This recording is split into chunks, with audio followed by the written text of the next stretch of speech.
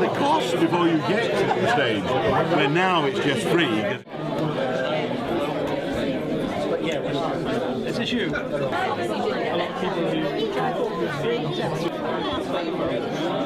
We're here really just to sort of spread a bit of information about the proposal for a wind turbine to go up on the A606. Um, we feel that if we can get information out there and just help people to understand a little bit more about the background to wind turbines, uh, they're more likely to understand that this isn't a project which is necessarily green. Uh, we feel that there are much better alternatives uh, for providing green energy, certainly something which doesn't have the kind of impact on the landscape and the local people as this one would have. The committee came to see me yesterday at the surgery. Quite a few people have written to me. And I, I, said I would come along largely to have a look at the exhibition because uh, one thing I wanted to be clear about, which I wasn't wholly clear obviously on paper, was exactly where this wind turbine was proposed to be uh, and to get a better idea of what exactly was causing all the control. Uh, let me begin by making clear it's not my decision and it's not actually the government's decision either. Uh, the key decision that has to be made is made by uh, the elected members of Rushcliffe Borough Council, which is the planning committee considering this application. So the fact that you've got four councillors uh, here uh, that I've met, you may have others coming, but I doubt it because you've got everybody covering the area and you've got the leader of the council as well, uh, is extremely relevant. Uh, I always say all planning applications, and normally with planning applications, I don't have anything to do with them. I'd make an absolute rule of saying, look, it's not my decision. It's no good saying you've come to persuade me, and if I don't agree with you, you're going to see the Prime Minister, and after that, the Pope. Uh, we, we, we, we, elect councillors to have this difficult task, and sometimes very controversial decisions. Something has to be built somewhere and they have the difficult task of deciding exactly where in the public interest these things should be sited. They're also influenced and have to follow planning rules and laws because otherwise every borough would have a totally different approach to everything and you'd have an extraordinary mess across the country. But Rushcliffe is an extremely good council, it's a very responsive council and it has recently had the planning rules changed so they're actually enjoined to have regard to environmental and heritage considerations when they are considering uh, an application of this kind. And more and more of these applications are being rejected across the country where they're in unsuitable places. Now, uh, I've just been saying, I'll repeat to you what I've been saying to the people campaigning. Wind turbines are in themselves controversial as a source of energy. The whole climate change argument is less controversial than it was, but it still is a bit. I personally am not a climate change skeptic. I think you cannot reject 90% of the world's scientists because it happens to be inconvenient to you uh, to accept their advice. Uh, but I do think that in doing something to reduce our carbon emissions, we've got to do it in a sensible way. One thing, then, therefore, means that it should not be at a cost which closes down our economy.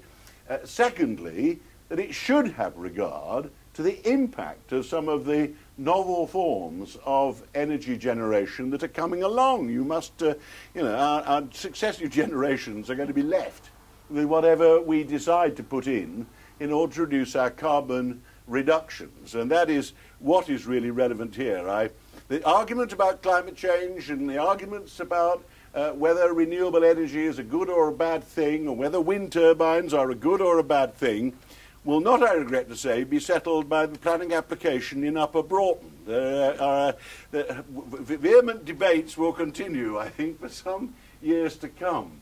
Uh, what matters here is the impact of this proposal and whether the downside of putting this wind turbine where is proposed outweighs the energy policy arguments for putting up more windmills. Now, as it happens, having already stressed that it's only my opinion, I think this is the kind of application which most disturbs me. I am actually an environmentalist. My friends tease me that it's mainly because I'm a bird watcher, but I am a conservationist. I actually, my bird watching is an excuse to go to wild and beautiful places and enjoy the environment which we have a duty to protect. And I think the across the whole of Europe, including in the United Kingdom, some of the wildest and most beautiful landscapes uh, that we have have been virtually destroyed by putting up wind farms. But objects, as is being pointed out, bigger than Trafalgar, Nelson's column in Trafalgar Square, are being stuck in the middle of the landscape. So the relevant thing here, which is obviously brought, I'm not surprised, half of Leicestershire here, as well as my constituents, is that this one, if I've understood where it is, I'll look again, I'm familiar with this road, so I'll just, you know, driving back to West Bridgford, I'll check again, it will be visible over a vast area of the Vale of Belvoir, and I happen to think that the views from this ridge that runs to Hickling, and the, the views generally, the landscape, the, the, the, the general setting across the Vale of Belvoir, is one of the most beautiful sort of settings and gives some of the most beautiful views that we've got in this country. The Vale of Belvoir is a little known, uh, I think, probably luckily for us, although I see we're trying to boost tourism. Uh, you won't get anything run here, but you will have a startling landmark. Uh, some people think they're beautiful and awe-inspiring. Well, you know, so's Nelson's column, but you wouldn't put that in the middle of an otherwise unspoilt rural landscape visible over a vast area in a fairly dominant way. You'd put it in Trafalgar Square. Where you put this wind turbine, I'm not quite sure, I won't suggest. But don't remain silent. Uh, most planning applications, people come to the MP when it's already been granted because they haven't bothered to take any part in the consultation. They haven't bothered to approach their borough councillor and give him or her their opinion. But now it's been allowed, they think someone should stop it. Uh, and there I get quite emphatic that there is nothing I can do. Indeed, once they grant it, if they grant it, the borough council are not legally empowered to reopen it all and start saying, well, we'll, we'll have another look and see if we want to change our minds. They have to settle it. So that's, that's why all the borough councillors have come. That is why I'm here. And uh, one thing I can do is encourage all my constituents and the people who are equally affected all over the Melton constituency next door to get engaged and let people have your opinion because the planning rules expressly instruct the borough have regard to public opinion. To be fair, whether we need any wind farms at all or turbines in the Vale of Belvoir is a pretty at all is a pretty big issue, and if you get one, they do breed a bit.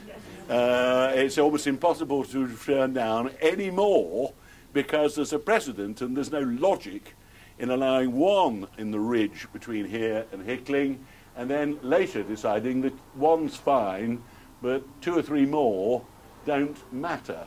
Uh, there are a lot of applicants who will come flooding along if you're not careful, if you grant this one, deciding the Vale of Belvoir is open season in the Vale of Belvoir. So I was asked to say a few words.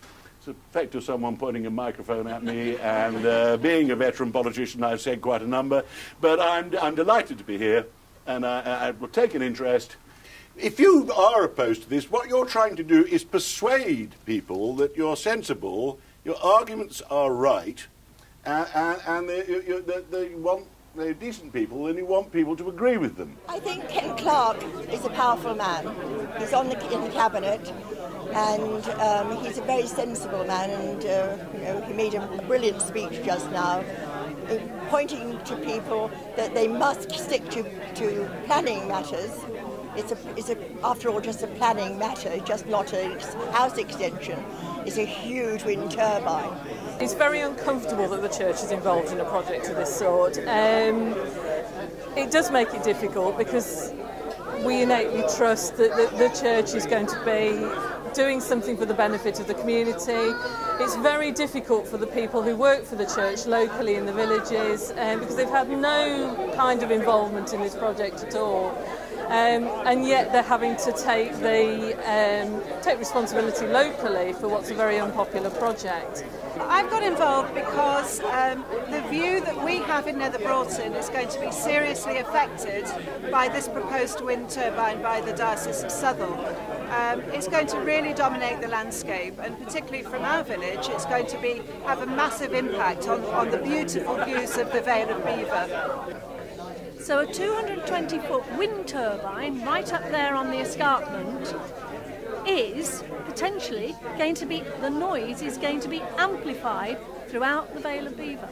And we won't know if that happens until it's put up there. And that I think is actually really a huge potential hazard that we cannot quantify. And I, am yes, it says over there, have a cup of coffee if you're shocked. I am shocked. It's great to see that there's a real change of tide in terms of people looking in more detail at these wind turbine projects and deciding what's effective technology and what isn't effective. So it's great to see those changes coming into place. The subsidies have to go. It has to be a lot of letters. And I think, quite frankly, um, if we don't do this in the next two weeks, this thing could go up the great thing is is that now everybody's starting to group together. Uh, we're all sharing information. There's the website Voices Against Turbines, and I've, I've spoken to quite a lot of people today that have got applications all the way across, um, and everybody is absolutely marvellous. And we're saying yes, we've done this, yes, try that, uh, and it's working incredibly well. It's marvellous. So why are we going to blight this beautiful area for the sake of energy which will, will be generated intermittently because the wind doesn't blow all the time. The figures they have produced are very misleading. They're producing figures that say we're going to generate all this energy, and that's only if the wind is blowing continuously. It's, it, those administrative boundaries and political boundaries make the whole thing extremely difficult.